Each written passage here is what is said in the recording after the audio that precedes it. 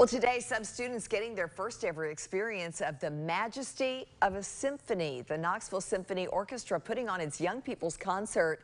It's designed for third through fifth graders. The theme this year, a world of rhythm, featuring the rhythms and percussion instruments of different cultures. Everything from uh, Celtic music to samba drumming from Brazil. The, his, the symphony hoping this performance is a lasting and positive experience for the students who attend. I know they enjoyed it.